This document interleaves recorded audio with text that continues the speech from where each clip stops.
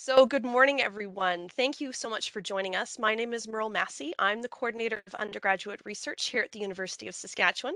And with me is Brooke Kleebauer, who's uh, our student assistant. Brooke, sorry, you introduce yourself. I think you're muted. you think I'd know how to do that by now. Um, I am the undergraduate student assistant at the Undergraduate Research Initiative. So I am a commerce student in my last year, um, and marketing and communications is kind of my thing. So that's kind of what I do for the SURE program. And if you ever email, chances are you're probably contacting me. so uh, yeah, you'll also see me on our social media channels and everything. So yeah, that's a little bit about me. Yes, and so if anything ever happens to me, Brooke is just going to jump in and just take over the whole program. So you'll you'll see Brooke uh, as part of that. But welcome um, to our bit of an overview today for the student undergraduate research experience, so the SURE Club.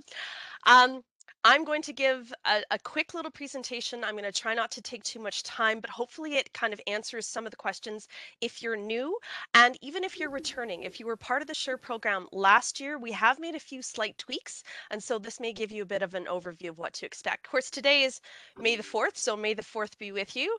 Um, if you want if you want to think about things that way.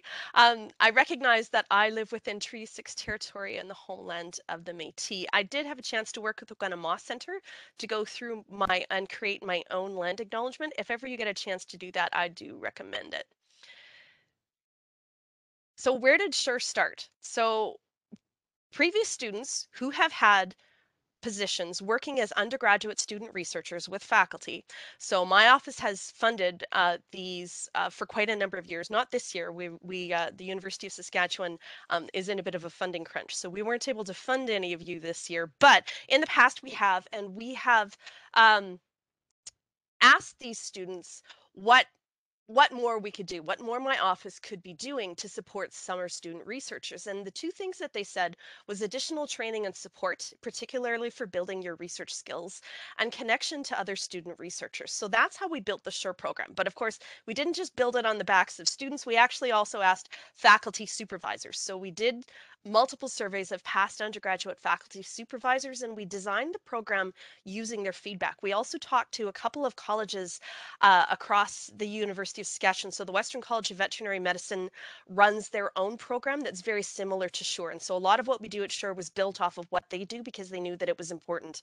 And uh, pharmacy and nutrition also did a lot of student training. And so we worked with them as well to design the SURE program. So this was a pilot that we started in May of 2020 so here we are kicking off the second year. So for those of us who or those of you who were with us last year thanks for coming back. Last year's cohort was about 300 university of saskatchewan summer students. All of the ones last year were signed up by their college or their department. So they literally sent me their lists of the students uh, who were there and that's who was signed up and uh, and we were we've been entirely online during the pandemic so we're still online. Maybe eventually we'll be able to be back in person and do some in-person stuff. We're looking forward to that but right now we're still online. Uh, this year the sign up was both. You could you were probably signed up by your department your college or your or your supervisor so you know surprise you've been registered for this. Um, but a lot we did also have an open registration as well and so you may have come in that way so SURE is an explicit focus on skills. So this is a space where what we can do is that what you're doing in the lab or in the field or in the archive or wherever you are that you're doing your research this summer, there's a whole bunch of skill sets that all of you need to have around things like communication, professional development, and, and research skill and analysis. And so we wanted to be able to offer a way to aggregate that. And so it's about training, practice, and, and development. It is co-curricular. So that means at the end of summer, I send out a survey and you guys all tell me sort of which ones that you went to and and and and, and provide a bit of feedback and then i upload those onto the university of saskatchewan co-curricular uh, transcript and so that it shows up on your transcript. And so this isn't us one that's openly available. You can't go in and, and sign yourself up. Uh, we have it set up so that you have to sort of um, report to me first, report to my office, and then we sign you up for your co-curricular record. But it's designed to complement your disciplinary training. So we centralize what we can centralize, uh, particularly things around library communications. That's our biggest area, but we've got a couple of new things that are happening this summer that I'm going to tell you about. And we continually align it. So if we if you have ideas of webinars that you think would be really useful, please send Brooke or I um, a, a, a comment about that and send us your ideas because we can certainly expand or move things around as as you think that we need it. But the final thing that we want to do is really to connect students to one another. And this is really important because we want to enhance your connection and your learning because sometimes you don't want to ask your faculty supervisor if you think, you know, that oh, maybe maybe I should know the answer to this, but I don't. Is there someone else that I can ask? And so we try and create some spaces for those sorts of conversations to happen. It's also campus-wide involvement. It's not just Brooke and I putting on all of these things. No, it's not. Um, University of Saskatchewan Library is our largest partner. Um, Safety Services is a huge partner. SECC, so Student Employment and Career Center, and various others across campus. So this is a campus-wide program where everybody's kind of got a couple fingers in this pie, and we really welcome that because we can't put on a program ourselves. We're not experts in everything. So just so you know, this is campus-wide. Again, how we recruit students. So colleges and units register their summer students. They literally send me lists of your names and your emails, and I add you to the list. We also have done a social media blitz. That's Brooke. She does a great job. Um, we've put it on pause and done some announcements. We'll probably do that again this week. We're still adding students, which is great. We've done emails to past SURE students, so sometimes you've you've been with us sort of all along. We ran it in three terms. We ran it last summer and in the fall and in the winter, and uh, so sometimes those students might come back on board. We've also sent out uh, emails to college and unit undergraduate coordinators and particularly co-op and internship coordinators. So if you happen to have friends who maybe they're not doing a research um, position this summer, but maybe you've got friends who are doing co-ops or internships send them the link to SURE because there's this whole series of webinars built into SURE this year around entrepreneurship.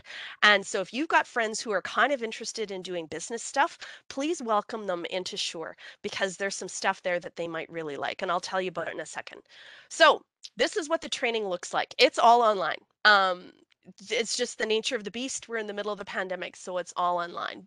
So, but this is about student choice. So one of the tweaks that we've made to the program this year that's different from last year is that you do need to do at least a certain number of your training within each of these three, I'm going to call them umbrellas. So the first umbrella is communication. So that's things like literature searches, academic writing, public writing, how to do a research poster, how to do a journal article, and then showing up for the end of summer symposium. So anything that we offer around communications, most of them are coming from the library or from me.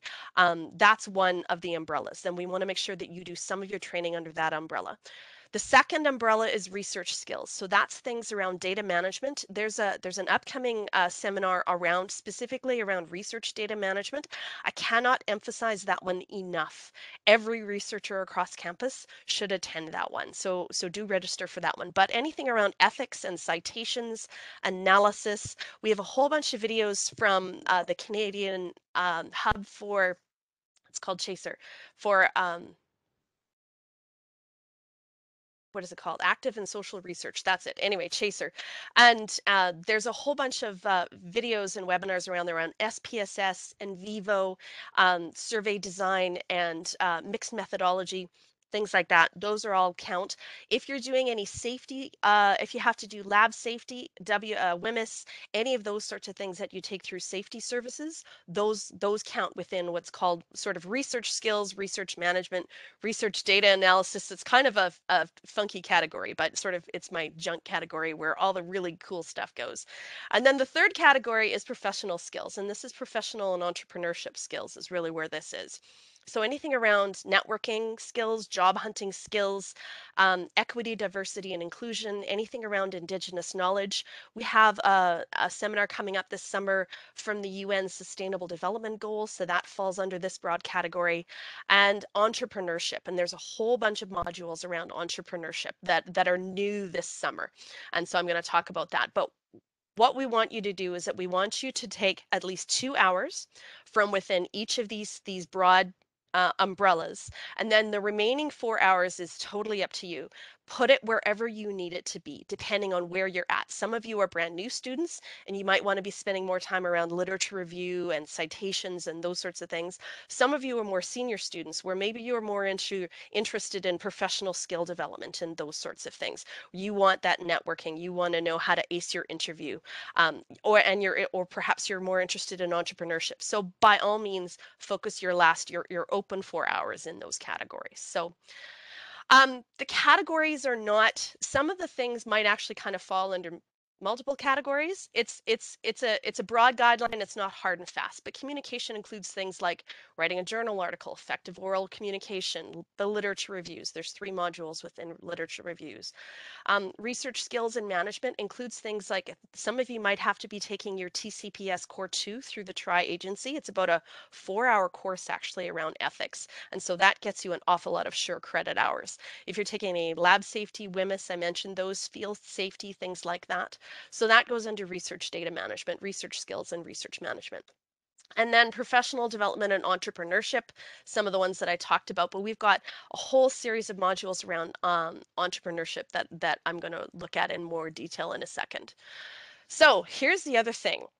Uh, SURE is both the live version of things like this one that's being recorded, but everything that gets recorded through SURE gets uploaded to our RASI YouTube channel. RASI stands for Research Acceleration and Strategic Initiatives, and that's the office that both Brooke and I work for. So the RASI YouTube channel holds all of the SURE webinars. And so all of the previous SURE webinars that are that are up there, and there are quite a lot of them, any of those can also be watched asynchronously. Let's say that you're busy or you're in the field or you don't have good Wi-Fi or you know something, you know, your cat threw up, whatever it is that causes you to miss a particular webinar that you've been signed up for. Don't worry about it. You will be able to watch it afterward and still receive credit um, for those webinars. Also, you can watch any of the previously recorded webinars that have been recorded last summer, last fall, or last winter, and those can also go towards your SURE credit.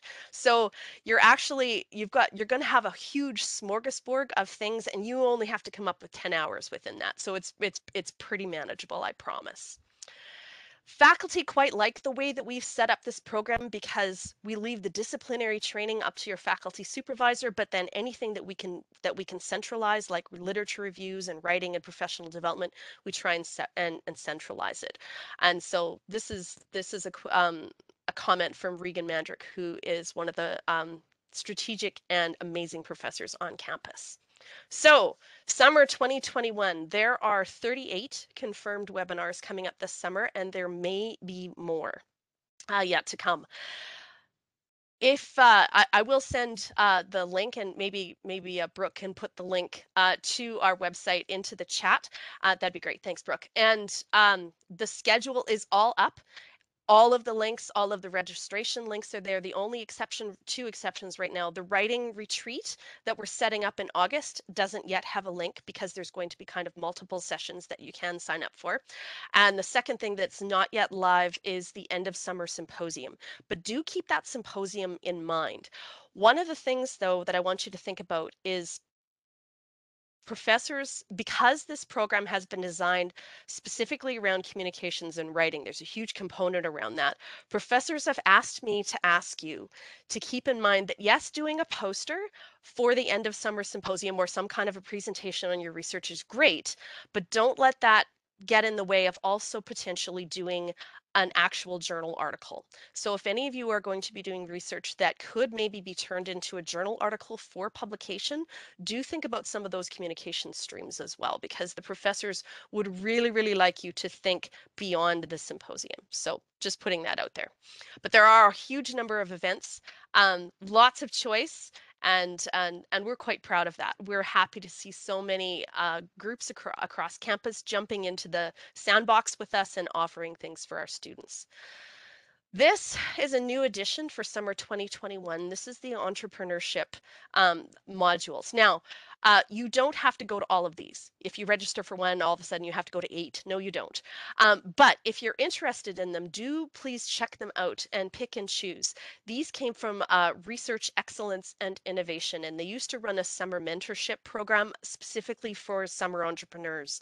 Um, but because of the USask budget cuts, they they were unable to run it. So what they've chosen to do is to join in with us for this summer and to offer these entrepreneurship mod modules um, for students in the SURE program. So if you're a more senior student or you've got um, a, a business idea, anything like that, uh, Brooke, go ahead. Um, yeah, I just want to jump in here because I feel like, um, you know, you come from science backgrounds um, or, you know, a background that's not business and you might think like, how does this apply to anything I'm doing? But um, I also work for, you know, research profile and impact. So we work with a lot of your professors and act, like the people who are leading up the projects that a lot of you are probably working on. And, um, you know, everything that you are finding and using uh, really does get um, applied to companies, applied to uh, different areas of the university. And a lot of them have these like business background um, areas that you will run into. So even if you are not um, a business or you know social science background where you think that your work will actually get used, I promise you it will. And so these are actually really great modules to undergo. So that's just my two cents. no, I appreciate that, especially when you're coming from that Edwards School of Business background. Another thing to remember is that sometimes um, when we think about research commercial commercialization, who do you think makes all of those amazing um, uh, uh, machines in each of the labs. Those machines are worth thousands of dollars and they can do really, really specific, really interesting things. So sometimes it's not the output from your research, but maybe you're actually working to to craft or or change a particular machine that actually can become part of your summer research project as well. And that can also be incredibly valuable and um, be a way for that your lab or your supervisor to commercialize your research work. So it isn't just about the results of your research. Sometimes it's your methodology too. That actually makes a difference. So if you're interested, make sure you check out the entrepreneurship stuff as well. Here's the biggest question that I get asked from students is who keeps track? You do. You keep track of what you did. So students keep records of what events, what webinars you have attended live or watched afterward. Um, uh, we will, my office will send out a survey that will go out at the end of term, so not until the end of August. And then we have it open for usually three weeks or so, um, so that students have time to kind of upload. Yeah, I went to this one, I went to this one, I went to this one, and tell us what you went to, and give us and give us that feedback. Then our office uploads the credit to the CCR. So it it probably won't be uploaded until the middle of September, but we do it is CCR credit, but you it's part of your professional development um, in terms of just just as as a student developing it is up to you to keep track so, what and else does she, what's that? Go, go ahead, Brooke. Uh, you know, please feel free. You don't have to wait till the CCR credits up to, you know, put it on your resume or use it in that kind of manner. Yes, absolutely. that is so, something that yeah, you're looking to do. Exactly. Because uh, sometimes you're applying for jobs and you might not necessarily, uh, you know, be have, have to send them your transcript and or maybe you don't want to. Yes, it shows up on your USask transcript, but feel free to make sure that you're putting your your that you're part of the SURE um, uh, program on your resume. Absolutely. So what else does SURE do for students? It creates connections. So we have a whole number of student-led spaces. Uh, there has been a journal club. I'm not sure if it's going to run again this summer, but if students are interested, please let me know. Uh, there is a Discord server. And uh, um, so please make sure that you join that. The link to join the Discord server is actually on the email that comes out from the Undergraduate Research Initiative that comes through MailChimp. There is a student club. So I just met with the president of the student club yesterday. It's called Science Research and Society, and we are going to run it again this summer. We started it in September and ran it all winter. It runs Fridays at noon. And the Science Research and Society Club is is is Vedihi here? Vedihi, if you're here, you can feel free to unmute yourself and, and talk about and talk about the club, but I'll just chatter about it if you like. But um, Science Research and Society is a very informal space. Sometimes it hosts uh, speakers Sometimes it hosts events. Um, we we did we uh, previewed uh, the documentary Picture a Scientist, the short version. We've done a number of things within Science Research and Society Club. This is very much a student-led uh, space, and uh, it's a really great space to meet other students. So we really like it. Um, social events, we want to do a few social events this summer, including movie screenings. So one of the movies that we're doing is is Picture a Scientist, which is coming up on June 8th. We're hoping to do some lab crawls. Um, if but we may have to do them digitally this year, but if you're physically in a lab on campus, if you're amongst the lucky ones and you're actually physically on campus, if you want to create a video of your lab and you working in your lab and send it to, and share it with Brooke and I, we would love to share that with other students. So so please put that and and you know so add movie making to your summer resume. Um, and, and I will be sending out an email uh, probably in the next week with all of our channels and everything on it. So everything will just be in one place. All of the social media, the Discord, the links to everything. So you guys will have it all in one place, just so you know. every email that you get from me that comes through that mailchimp there's all those little icons at the bottom and they actually all uh, they they actually all work. They go right to where they're supposed to as well. Ideally we'd like to have some post pandemic in-person events and maybe if things open up by the end of summer we'll be able to do that. Um i don't ice cream social bring your faculty supervisor you know we'll we'll come up with stuff like that we also have taken on a bit of a role where we advocate for students. And one of the projects that I want to work on this summer, and I am on the hunt for volunteers to help me with this project, but I want to build a student supervisor agreement. Those of you who are part of the Dean's Project at the University of Saskatchewan, this is in the College of Medicine, you guys have one. Um, you have a student supervisor agreement. So it kind of is a bit of a riff on that, but this one's specific to the college, to College of Medicine. And I want to have something that's a little bit bit more broad. Um, and it, what it does is it allows us to think through that any of these research positions are a two-way space. Faculty have a lot of power, but at the same time, some of you may end up in situations or with supervisors where you find out partway along that it's not maybe the most perfect fit. So we want to make sure that we are a space that you can maybe come to and and and and talk to us. That if you're not comfortable talking to your supervisor, maybe you can come and talk to us, and we can um, connect you with the right people to kind of work through your issues. So we want to make sure that nobody feels alone.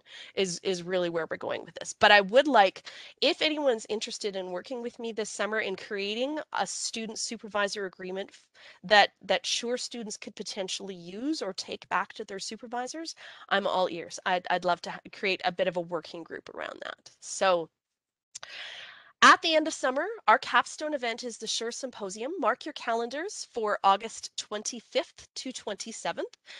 Um, it, if we're in person, that's great, but there still will be an online component, um, just so you know. So two years ago, we were in person. We were in um, uh, Convocation Hall. Last summer we were fully online, of course, and so those these are pictures from both of those events. Just just so you know, um, if we can do an in person, it will still be we'll still have a hybrid component. We'll still have all of the posters and all of the presentations online as well. Um, judges and supervisors really like that because it gives them a way to to watch your presentations more than once, you know, and ask you questions and check in. And so we'll definitely do both. So mark your calendars for those of you who are expected to do a presentation. Some of you are expected to do a presentation again in the College of Medicine or the Western College of Veterinary Medicine. That's fine what I would recommend to you is that you look at SURE at the SURE Symposium as a practice space. So you can do like your first version of your poster or your presentation, present it to the SURE Symposium, take the feedback from the judges because they're always judged, and then make changes to your presentation so that you can present it um, even better when you go to present it back to your college or your discipline. So but be sure to think about it that way. And yes, yeah, so this is this is Brooke's Space, although I dabble here too. Uh, this this is so the undergraduate research initiative, which is who runs the SURE program, can be found across multiple spaces. So if you're on Instagram, we're there. Facebook, Twitter. I'm generally the one on Twitter uh, Brooke's over on on Instagram. I suck at Instagram, um, but of course we have our YouTube channel. Uh, we are on LinkedIn. That's something that we're building. So if you have a professional profile on LinkedIn, be sure to follow us, and we will follow you back. And we also have a podcast series. And Brooke, do you want to talk about the podcast series? Yeah, so we usually we interview kind of a, a bunch of people. We've had, you know, faculty, we've had senior leadership, we've had lots of students, and we're always looking for people who want to talk about their undergrad research um, and what's so neat about it, things that they've found. Um, and we usually take those podcast interviews and also use them as student stories on our website. So if you are, anyone is interested in doing that or discussing their experience this summer uh, or anything that comes up that you think is really relevant to your experience as an undergraduate research, um, I will maybe throw my email in the chat as well and feel free to reach out and we can talk about chatting um, in that space because we're always looking for more stories and for people to talk about their experience. And also, if you have a minute, please go listen to, we have like, I think nine or 10 episodes out now, about 20, 25 minutes each. Um, and it's a great way to hear from other people and what their experience has been, or even like establish potential people to contact in the future. So yeah, feel free to go look at that. We have it on pretty much every platform you could think of, Spotify, um, iTunes, all those Thanks, Brooke. I think that uh, oh, and Eve says they're a good listen. Well, we really, really appreciate that. So we have a new VP of research. So he is my boss's boss, Baljit Singh, and and uh, Baljit was our most recent podcast. And Baljit is a huge proponent of undergraduate research. He loves it. He's always uh, worked in this space. So uh, if that's the only podcast that you listen to, I would recommend it. And then you can hear directly from Dr. Baljit Singh, who is the vice president of research here at the University of Saskatchewan. And with that, I'm going to stop recording, but then I'm going to open it up to questions. So thank you very much. If you're watching this afterward and you have questions, please e email them to me.